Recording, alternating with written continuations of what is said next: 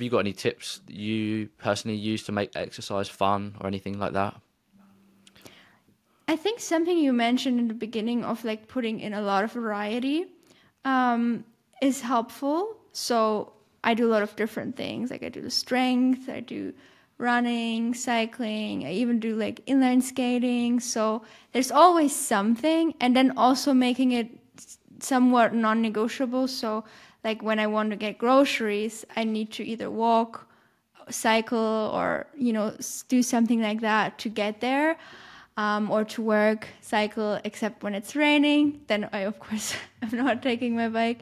Um, yeah, just incorporating it in there. And um, yeah, I mean, and that also either having like learning to be with your thoughts and really enjoying and appreciating the silence, or if that's not something that's like available, then you know I I also had periods where I would listen to music or a podcast or something, um, and I think just embracing that and going with what feels aligned with you and not doing it so much because someone else says it. Yeah. What about you? What are some mm. ways for you that you make it more enjoyable?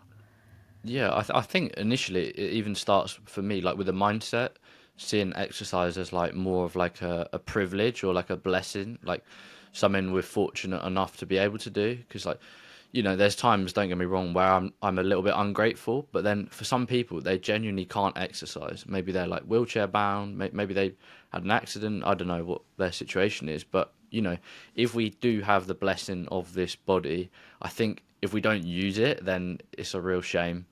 And I think yeah. having that mindset, it makes every day you're able to exercise. It makes it a lot more fun. Um, and then also, I guess seeing progress seeing progress is really mm. addictive.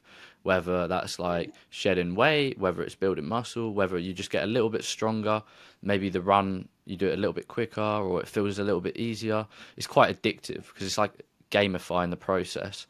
And I think the more you can make it like a game and fun, like when you're a kid, when you were a kid, like when you were a child, um, you know, exercising or playing sport, it was so enjoyable and so fun because you just didn't really care.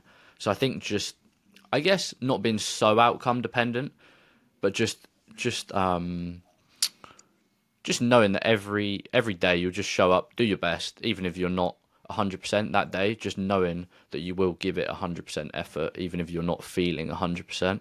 That's good. And yeah, when I'm working out, um, because um, I work out at home, I put music on and I really enjoy that. Um, but yeah, if people want to be alone with their thoughts or in the silence, then even better. Like fighting your demons, then cool. Um, it, to their own. But yeah, I think sport as well. If if there's a sport that you enjoy, that's a good way of like being social and just like a lot of sports. Like when I used to play football, like I stopped enjoying it um, recently, but when I used to play, it is a good way to get cardio in as well. Because when you're chasing the ball, you're not really thinking about the run; you're just thinking about the ball. So I think mm. just just doing things that kind of disguise the fitness is really good. Um, yeah. Yeah, I guess similar to what I alluded to with the uh, cycling. Like I need to move in order to get to grocery yeah. shopping.